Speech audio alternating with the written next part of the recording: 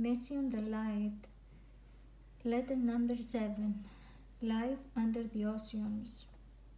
My Lord and God, unite all of us as we are your children to work together in our great mission, hand by hand, link by link in the chain of love, from north to south, from east to west. My children, my beloved John, is going to happen. This is happening at these times from the revelations I am manifesting to you. Share everything, all you know, and all the things that are hidden. The time came once again that I need every one of you to transfer all the information that is available to you. The older information of 2017, I gave it to you and you shared it already with great zeal. New pages with new information we will fill that is unknown to you until now. This is the reason, once again, I need everyone in your post, like before, to work with love for love. Work with more zeal with the Spirit of God. Work with more faith and dedication. We have blessed to the fullest this new mission.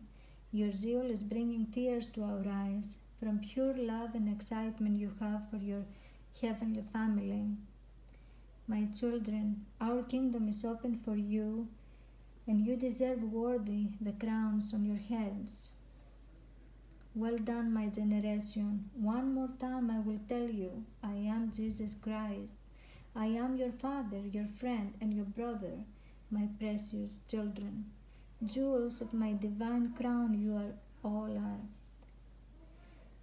You bring in me with your work the, all the children. Be in peace. Come, my friend John, I will reveal to you now a kingdom of life that thrives under the waters of your oceans, dear, deep and under. What do you see, my friend? My Lord, oh my God, be blessed and blessed be the entire divine family. Hallelujah. Oh my Lord, what my eyes see. Under the sun, under the sound of the great oceans, there is life, life from other beings. There is a great light, so much light, even greater of the light we have here in the surface of the earth from our sun. Here the sun is much brighter. Instead of skies, there is a dome in the deep blue color. I see beings who look almost like us, yet they are taller than us, more than six feet tall, but skinny. They, their eyes speaks love, serenity, peace. Their eyes are bigger than ours. They look like the eyes of the deer in a shade, and yet in the color look like transparent honey. Their nose is like ours, but smaller and rounded. Ears, little smaller than ours, more rounded and harmonious with the rest of the face. To the majority of them, their lips are small and in the shape of a heart, and some others beautiful, thin, and symmetric on them. The brows are more spacey than ours.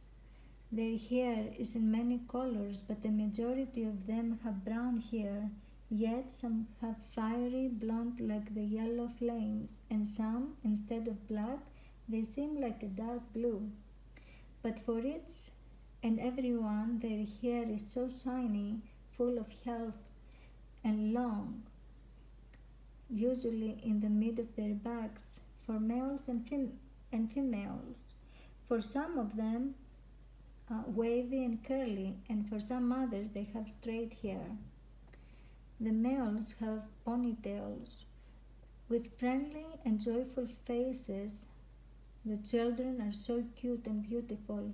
They are playing with all kinds of seashells that they have found in their own seas, rivers, and lakes. The trees are greatly large. Life is everywhere here. The plants have feathery leaves in all colors. Their fruits are familiar as ours and the trees, but also I see beautiful and unknown trees. huge bushes with huge leaves and fruits that look like strawberries but they are not. Everything I see here is very large that we we have up in the surface. The children cut fruits and they are eating it. One fruit from them can fill one family. Their homes in, in their communities are breathtaking. Some look like giant seashells, but functioning as comfortable homes, and some their homes are inside of the trunks of the trees for cooling. They working with a smile and one helps another. They don't have leaders, but in each neighborhood I see someone with responsibilities who give an order with love for the duties of the day. This one's wearing shiny uniforms like our divers. The color is dark turquoise.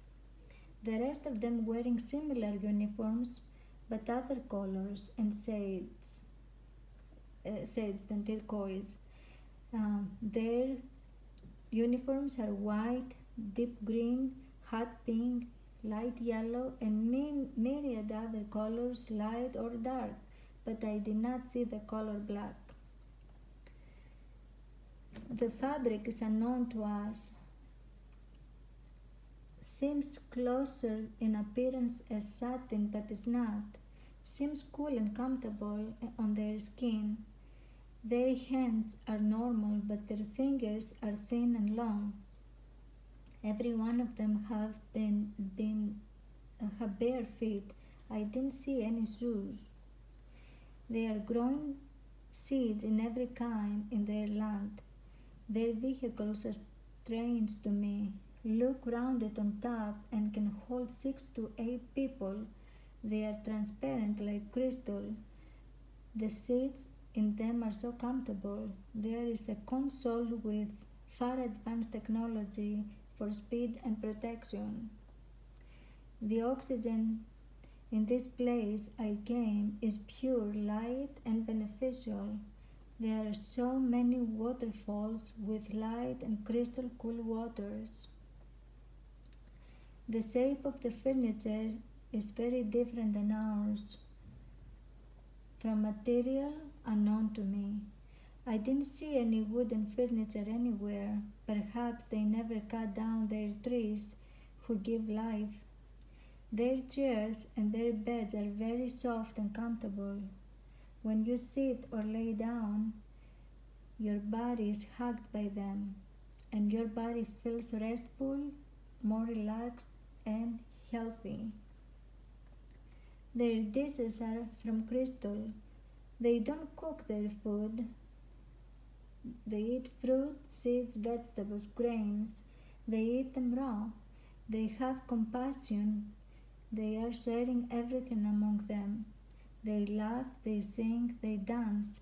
It's like paradise down here. I didn't see any other life, only those tall beings. Thank you, my Lord and my God, for all the things you revealed to me today. Amen.